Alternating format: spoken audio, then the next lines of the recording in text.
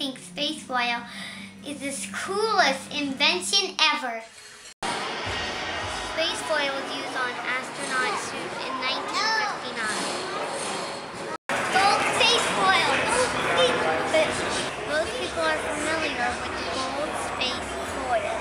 It can keep hot things hot and cold things cold.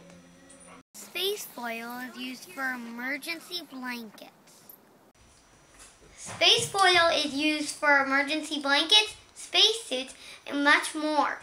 The foil used to be used for toys and Christmas tree tinsel. The process used in space foil is used in shiny balloons. It works by blocking radiation. Space foil keeps our houses warm and slows the transfer of heat. Daddy, Mom said I could be up here. It's good so that you can keep your pizza hot. Thank you for watching my video about space foil.